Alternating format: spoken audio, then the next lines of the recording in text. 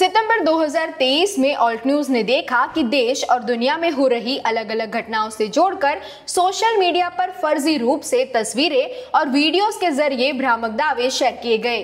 कभी भारत और कनाडा के बीच हुई टकरार को लेकर तो वहीं जी ट्वेंटी शिखर सम्मेलन को लेकर फर्जी दावे किए गए।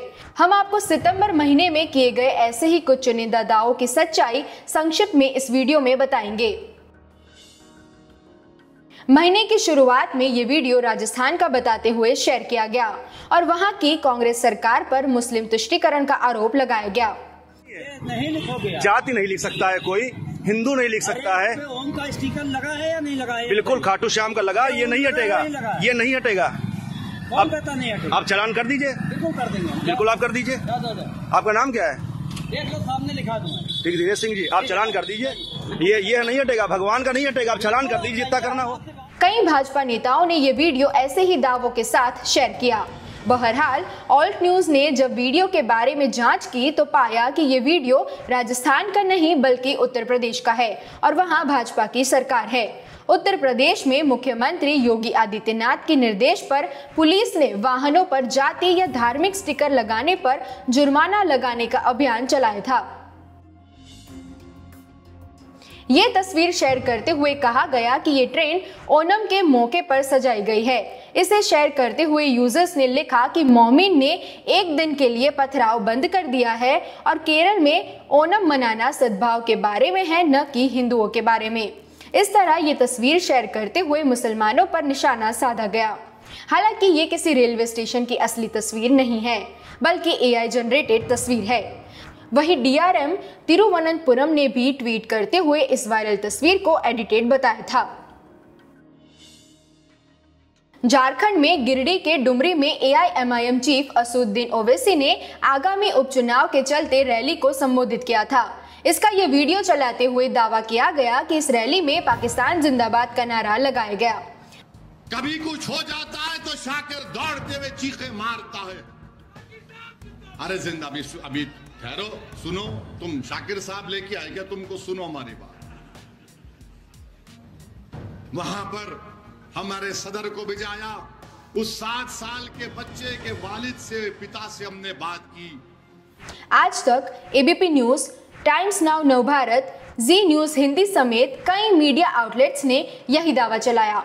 ऑल्ट न्यूज़ ने रैली में दिए गए भाषण का वीडियो चेक किया तो पाया कि इस रैली में पाकिस्तान जिंदाबाद के नारे नहीं लगाए गए थे। वहाँ पर हकीकत में शाकिर साहब जिंदाबाद का नारा लगाया गया था।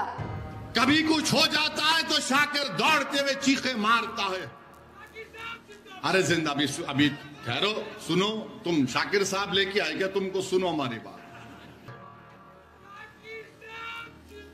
अरे ज़िंदा, अभी अभी ठहरो सुनो, तुम शाकिर साहब लेके आए क्या तुमको सुनो हमारी एशिया कप 2023 के भारत बनाम पाकिस्तान मैच के दौरान गौतम गंभीर का यह वीडियो काफ़ी चर्चाओं में आ गया। इसे शेयर करते हुए सोशल मीडिया पर दावा किया गया कि स्टेडियम में बैठे कुछ पाकिस्तानी लोगों ने, भारत तेरे टुकड़े होंगे इनशाला इनशाला का नारा लगाया। भारत तेरे टुकड़े होंगे। भारत तेरे टुकड़े होंगे। तब गौतम गंभीर ने दर्शकों की ओर ये अश्लील इशारा किया।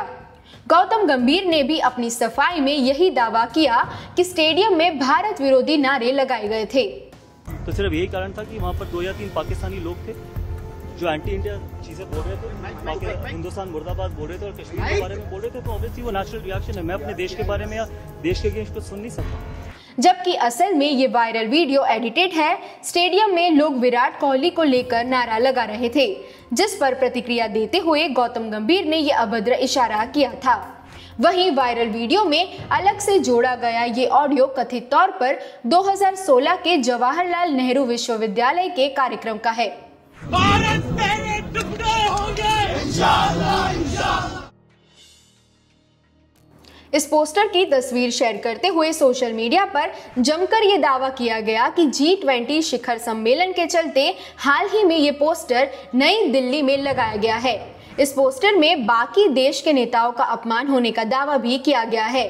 कांग्रेस के वरिष्ठ नेता और सांसद शशि थरूर ने ये तस्वीर ट्वीट करते हुए भाजपा पर तंज कसा था। वहीं American news outlet, Washington Post ने भी अपनी रिपोर्ट में ये तस्वीर शेयर की थी। तस्वीर के बारे में छानबीन करते हुए ऑल्ट न्यूज़ को अप्रैल 2023 की इस रिपोर्ट में ये तस्वीर मिली। यानी ये तस्वीर सितंबर में हुए जी ट्वेंटी सम्मेलन की नहीं, बल्कि उससे पुरानी है। असल में मॉर्निंग कंसल्ट द्वारा 22 वर्ल्ड लीडर के लिए मार्च 2023 में किए गए एक सर्वे के आधार पर ये डेटा निकाला गया था कि पीएम मोदी दुनिया में सबसे लोकप्रिय नेता है।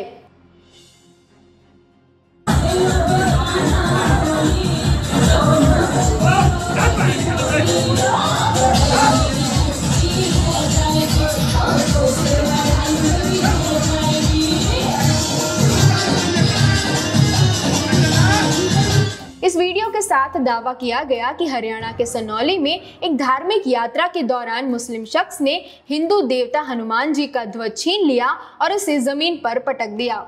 ऑल्ट न्यूज़ ने मामले की तहकीकात की और पाया कि वीडियो में युवक से झंडा छीनने वाले उसी गाँव के सरपंच संजय त्यागी थे।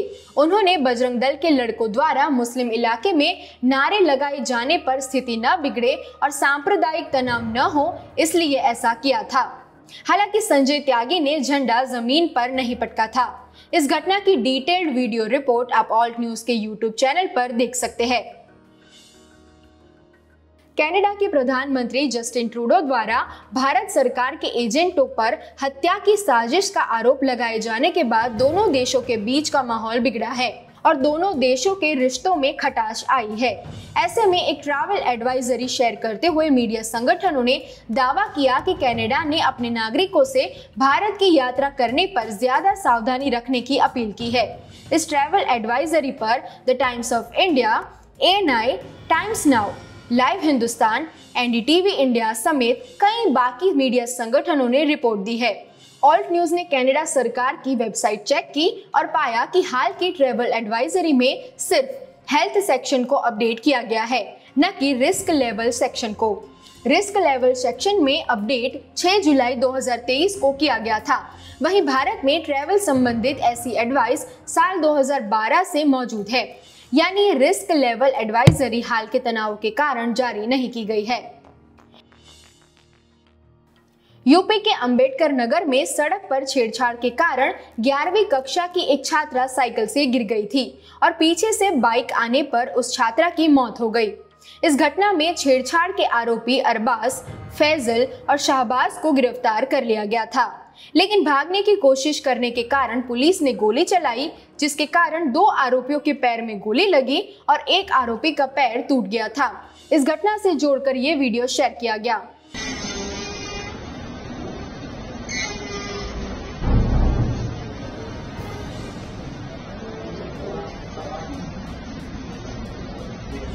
ऑल्ट न्यूज़ ने तफ्तीश करते हुए पाया कि ये वीडियो यूपी का नहीं, बल्कि राजस्थान के हिस्ट्री शीटर अजय जामरी के हत्याकांड मामले में आरोपी तेजवीर, युवराज और बंटी खुशाल का है।